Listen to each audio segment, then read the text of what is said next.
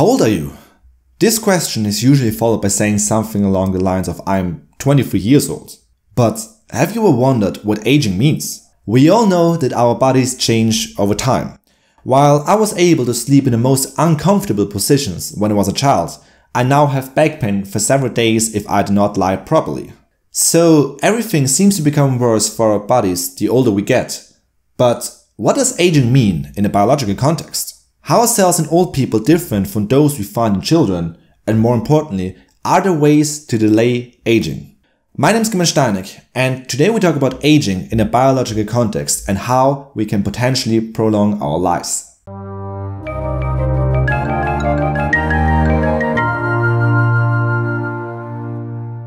The high living standards in our modern society have enabled us humans to become much older than in the past centuries. In Europe, for example, the average life expectancy has increased from about 34 years in 1770 to over 80 years in 2015. Of course, the strong decrease in child mortality is one of the reasons why we see this effect, but we still seem to become older and older. Earlier this year, Kane Tanaka was confirmed to be the oldest living person at age 116. To give you some context, she was born in 1903, the same year the Wright brothers became the first ones to achieve powered flight. So, does she have any secrets for the longevity of her life? Well, according to her, she drinks 3 cups of coffee a day and loves chocolate. It is debatable if these products have any effects on our lifespans, but we on this channel want scientific evidence. So we first need to define what aging really is. And to be more precise, we will talk about cellular aging today. There is a great review discussing the so-called hallmarks of aging. These are factors which accumulate over time leading to aged cells. As you can see, aging involves several aspects and there is actually a lot of research going on here. Today, however, we will exclusively focus on telomere attrition and stem cell exhaustion as I've found fascinating studies just for you. So, let's start with telomere attrition. As you all know, our chromosomes are linear, meaning that they have two ends. Telomeres are repetitive DNA sequences which are found at the ends of each chromosome. In humans, telomeres often comprise over 2,500 repetitions of the sequence TTAGGG. And these repetitive sequences have many crucial roles for our cells. For instance, they are forming loops together with many proteins in order to protect our chromosomes from being fused by our own DNA repair mechanisms. You see, sometimes our double-stranded DNA can break due to several reasons, leading to so-called double-strand breaks. In these cases, repair mechanisms can be activated, which then connect the fragments again. And this is great for us normally. However, if our chromosomes were unprotected, DNA repair mechanisms would sense them as double-strand breaks and start to connect our chromosomes. So the formation of loops by telomeres and associated proteins prevent chromosomal fusions. Furthermore, telomeres can for example regulate gene expression, but their most prominent feature is that they are the solution to the so-called end replication problem. The end replication problem arises while we copy our DNA upon cell division. Again, our chromosomes comprise two ends. Every time we replicate our DNA, the very end of the chromosome cannot be fully copied, resulting in a slow, gradual shortening of the chromosome. You can now imagine what could happen if our chromosomes become shorter and shorter. We would lose more and more genes leading to the formation of cancer or cell death. However, we do not have genes at the end of our chromosomes, but instead we have repetitive telomere sequences. And as a consequence, we only lose telomeres, which is not initially a big issue for us. The older we get, however, the shorter our telomeres can become, and now telomere attrition can occur.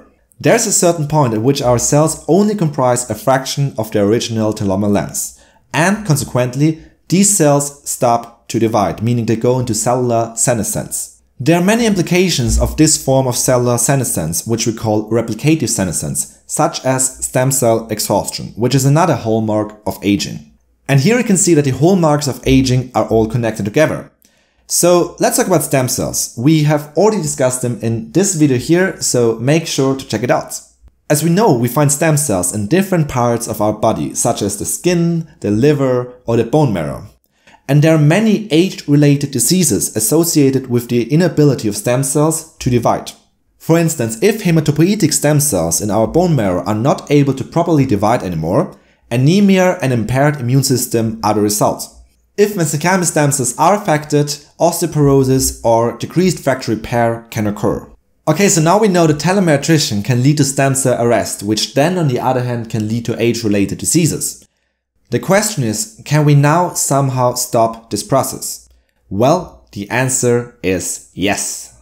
There is a natural mechanism which can elongate telomeres, and this mechanism is driven by an enzyme called telomerase, and telomerase is highly active in embryonic stem cells. You can compare telomerase to Paul McCartney writing the song Hey Jude.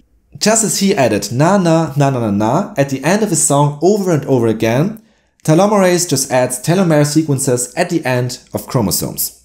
yeah, I'm proud of this comparison, I guess, but let's continue.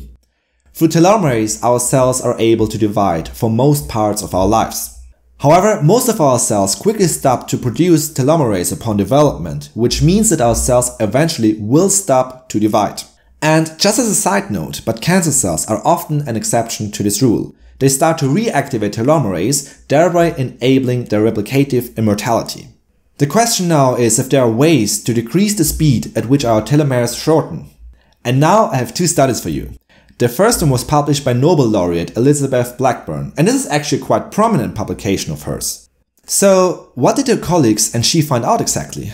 Previous studies had shown that chronic stress leads to poorer immune functions and higher risks of developing cardiovascular diseases. This study assumed that chronic stress might even impact us on a cellular level. Chronic stress might shorten our telomeres, thereby accelerating cellular aging. The first group consisted of mothers with chronically ill children, called caregivers.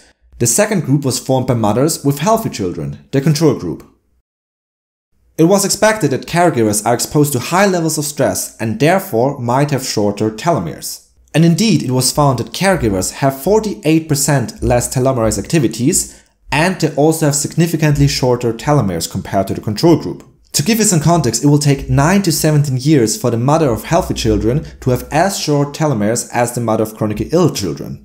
This is direct evidence for a possible relationship between psychology and cellular aging. And now you might think, well, if there is a negative impact of chronic stress, is there also a positive impact of reducing stress? Another study investigated the effects of lifestyle changes on telomere lengths in prostate cancer patients. Here, prostate cancer patients were divided into two groups, a lifestyle intervention group and a control group. The lifestyle intervention group had to change their habits over a period of five years. They had to have a special diet high in whole foods and low in fat, they walked six times a week for 30 minutes each, they started yoga and relaxation exercises, and they formed a social support group which met once a week. A blood sample was taken from both groups at the beginning of the study and after 5 years. It was found that the telomere length in the control group decreased, which is not very surprising. However, the telomere length in the lifestyle intervention group actually increased a bit. And this might now explain why Japan has one of the highest life expectancies in the whole world, the country's traditional food is high in fiber and there's extensive social support for old people. And it might be a coincidence, but also the oldest currently living person in the world is of Japanese descent.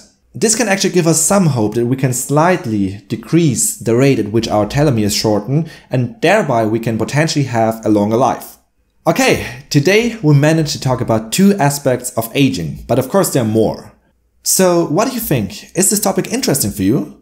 If so, let me know in the comment section and I will make more videos about that. Don't forget to subscribe, meaning hitting the button here, and also hit the bell button, which is like this button here, since YouTube now wants you to click on two buttons in order for them to show you my videos. And finally, a small outro. The last weeks have been very busy for me. For example, I had to design a poster for the open day of my faculty. The design isn't perfect, but I included parts of my thumbnail here. Cool, right? No? Okay.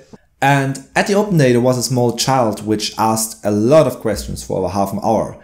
But at the end, she said to me that she now wants to become a researcher, so that was very successful.